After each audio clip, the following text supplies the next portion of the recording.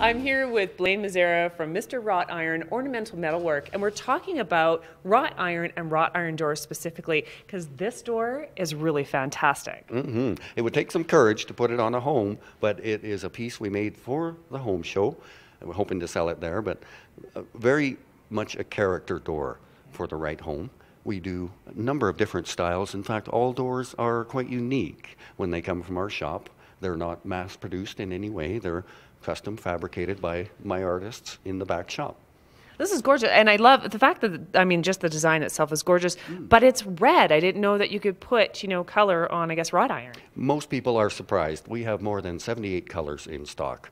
So the color has to fit the environment that it's going in. It's not all black and gray and white.